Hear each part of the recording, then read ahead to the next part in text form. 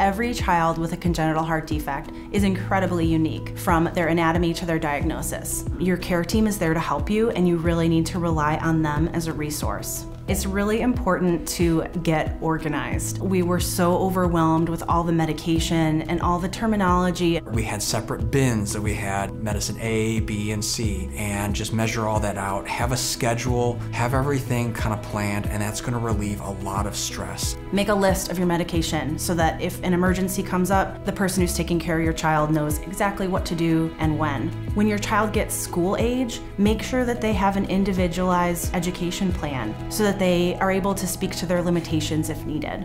It's okay to leave your child's bedside. It's okay to take a break for yourself. If you aren't taking care of yourself, you can't take care of your child. Connect with people that are going through similar circumstances. Enjoy the times where your child is healthy. It does get easier,